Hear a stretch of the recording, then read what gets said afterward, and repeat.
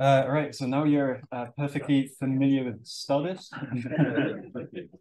I'm going to introduce another algorithm. That one's called uh, Cellpose. It's regarded by many as uh, the state of the art, uh, and uh, um, at least when it came out, it was regarded as uh, the state of the art. Um, for those of you who did manage to get it working, you might have noticed that all of the Stardist predictions are um, convex, so they're either round, elliptical. You won't have these fancy shapes, and Stardist cannot fundamentally predict these shapes. Um, so if uh, style shape, for example, important, uh, then uh, Cellpose is the way to go. Um, so I've put two links to the, the GitHub and to the, they've got a really nice website with lots of docs uh, where they explain how Cellpose works. Um, so I could go into detail into how Cellpose works, and I'm um, uh, happy to explain that at the end if you want, but maybe that's not um, the the main focus of, of this talk, but it is U-Net based in the Stardist. Uh, it just doesn't assume this uh, this convexity of the output shapes, and really it can output um, any fancy shape that you think of as long as it's as it's connected. Um, so the model is really uh, as good as the data that it was trained on, and uh, provides three main uh, models that are pre-trained. The first one was trained uh, it's called the cyto model, and basically they decided to make it as general as possible, and they included every possible thing that looks like a cell. That includes seashells, onions, tomatoes, and lizard skin. Uh, so their idea was, well, if it looks remotely like a cell, we'll try and segment it. Advantages and disadvantages, of course. If you have bubbles in your slide, that might not be great. Um, that's the cyto model. There's another model that's a TissueNet model. So this is not from the Cellpose groups. It's another data set. Um, it is by far the biggest uh, human annotated data set that exists. I think it's over 1.2 million uh, hand annotated annotations. Uh, so it's a fantastic data set. It takes two channel inputs. So if you have a strong cytoplasm or membrane marker and a strong uh, nucleus marker, then uh, the TissueNet trained model will hopefully excel uh, for your um, at that task. And finally, there's also another easy um, uh, pre-trained model is a live cell model. This is for a phase contrast microscopy of live cells. I'm not sure it's relevant, but uh, this model does exist as well. So quick notes on licensing. So I'm no licensing expert. The whole Cellpose project is open source, so it can be used commercially. However, all of the pre-trained models were trained on data sets that have a non-commercial license on it. So, I mean, I'm no legal expert, but that means that the um, the models themselves might actually be non-commercial. Uh, however, you can retrain the models uh, on your own data sets, and then you can use that commercially or whichever, and that will be uh, open or as close as you want it. um, so these are the installation instructions. We're not going to go through a Cellpose install right now. Uh, I think these slides will be available to you and you can go through. The main link is at the top and it walks uh, through how to install it.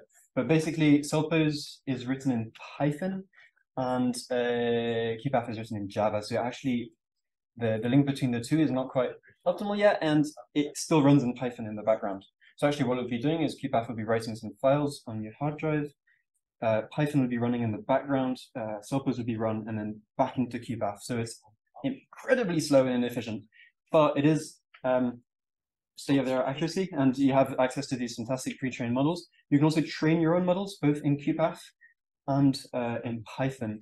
Um, so the main difficulty and why we're not doing it is that you have to like create your own Python environment, uh, and that can be straightforward. Um, it will be a different command for each one of you in, in this room. And so we, we just can't roll out a single sort of like instruction sheet that will work for all of you. Um, it'll be uh, dependent on whether you're on Apple or Windows. It'll dependent on whether you want GPU support or if you don't want GPU support. But it's all well documented. If you follow that link, that will follow, then follow on to the actual Cellpose link, which will then follow you on to uh, TorchScript, uh, sorry, PyTorch link, which has a really nice documentation on how to install for MacBook, uh, GPU, uh, or I mean Windows, anything. Um, but we won't be doing that. And then finally, you will have to install the jar file just like we did in Stardist. That's the easy bit. You just drag it onto QuPath. You will need to point where Python exists. That's also quite straightforward. Just tell QuPath where your Python is, and then you can run it. Um, uh, I didn't manage to get it running on MacBook. I did manage to get running on my on on on Linux and on running on the GPU, and that was relatively straightforward. So if it works, it's really straightforward. If it doesn't work, then it can take a while to debug. I've used it extensively uh, in Python, my opinion, because it's it's a it's it's Python workflow, you might as well run it from Python. Uh, that might be scary for some of you, but it makes more sense, and you won't be writing and reading so many files in the background.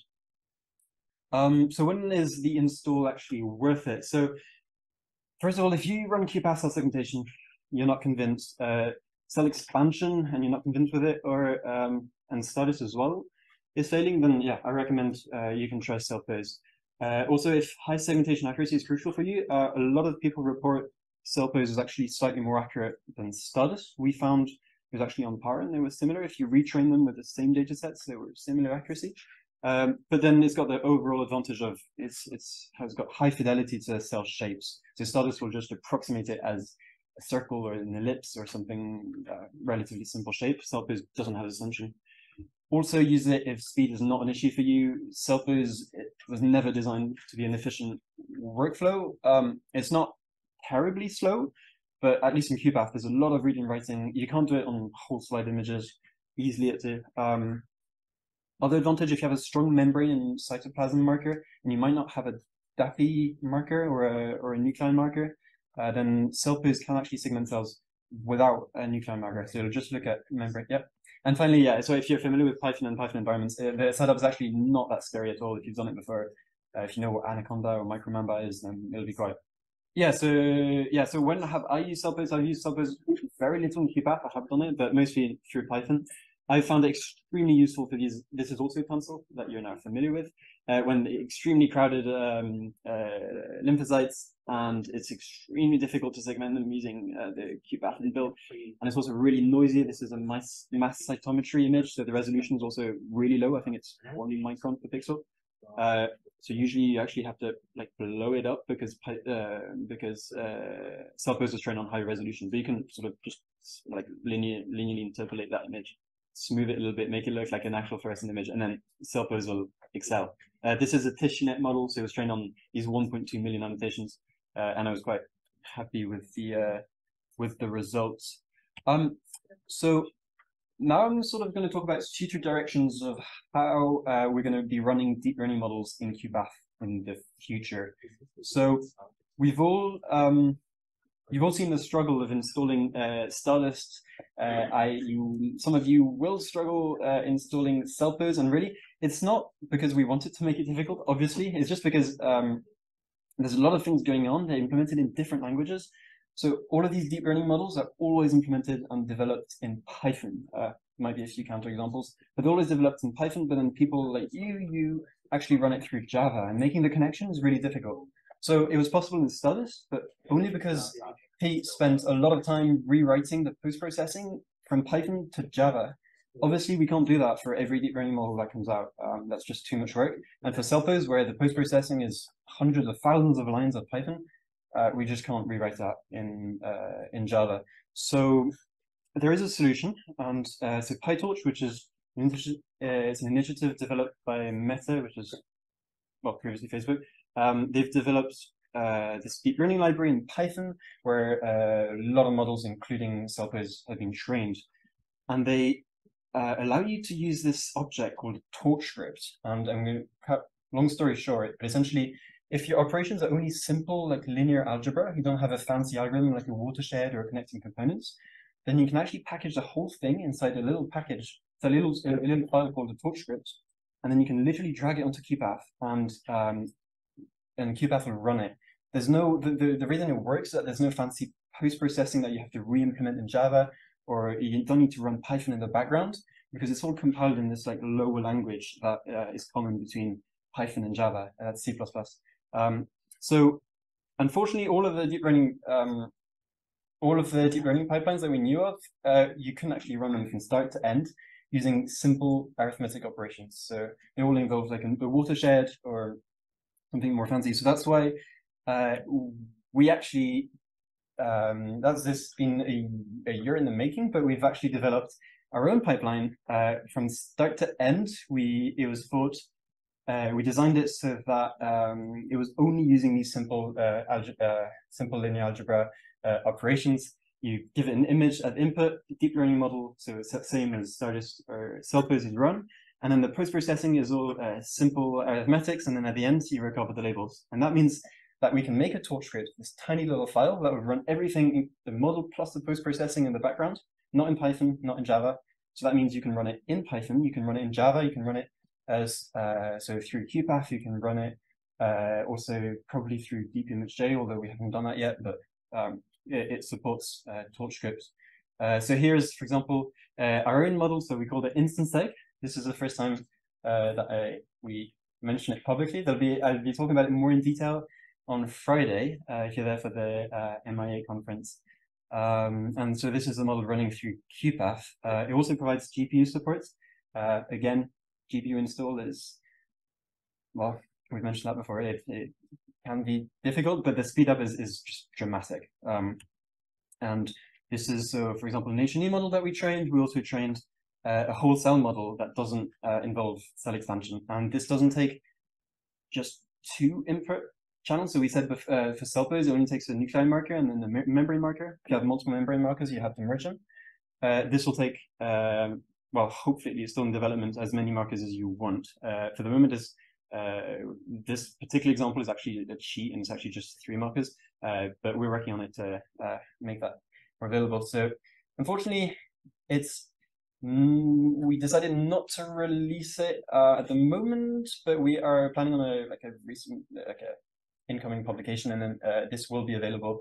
Uh, all the models that we at least the models that we plan to train. So for example, this one top right, and actually the one on the bottom left were trained on open source data. So which means the pipeline hopefully will be completely open source and the data will also be uh, open source, so not have a non-commercial license on it. And so hopefully uh, we can run it through QuPath with no licensing issues, although again, I'm no expert. Uh, I'll just show you some actually real world examples of it running. So not running through QuPath, but the results from QuPath. Um, it just took me a minute. Okay, so top left is CellPose, top right is QuPath nuclei um, segmentation, bottom right, uh, bottom right is Stardist uh, nuclei segmentation, and then bottom left is our InstanSeg method, which is trained on whole cell. So it took uh, all the channels rather than just two channels. Uh, uh, so I just, I mean, of course, this is just uh, like an example, it's qualitative, it's maybe if you run it with different parameters, you get different results, and I'm not. Um, but this is just a, a, an example. So the Stardist objects, they although they look nice, they're always very round, uh, and you don't have any fancy shapes that you would have, for example, in, uh, in the QuPath detection. Um, but it is highly accurate. Um, mm, uh, yeah, and then the CellPose model. Uh, yeah, you can see the advantage. For example, if you do like this whole cell, it doesn't it's not just expanding around the nucleus. It doesn't go beyond uh, uh, the well the end of the cell. uh, so it might be better after it's for analysis.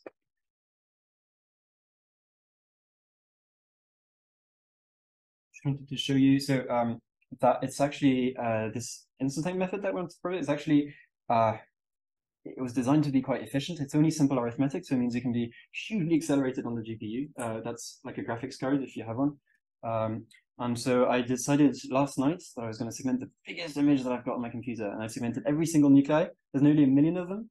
Uh, it took 14 minutes, so I mean it's not instantaneous, uh, but that's fast. This is using a GPU, and it's on a laptop, so it's not using like any like hugely fancy computer, but still using a pretty powerful GPU. Uh, it'll be slower, obviously, if you run it uh, through Mac. And I just wanted to, yeah, show you some of the, the image is better than this. um, yeah, just show you some example. This is a, obviously a TMA. Uh, most of these samples are lung, but they're not all lung. Um, uh, this is uh, from collaborators of ours um, at the Beatson Institute in Glasgow. Um, and yeah, it, it's um, definitely uh, promising, and hopefully this will just be. Uh, we're still in development. There's still artifacts uh, that we think we can hopefully solve for example, there uh, in the future. Uh, but it's still, uh, we think, quite an accurate method. It runs fast and it's quite easy to install. And you can also run it through, well, you don't have to run it through QuPath. You can run it through Python or you can run it through um, uh, DeepImageJ or any other platform. Uh, Thank you so much. Yeah. That's awesome.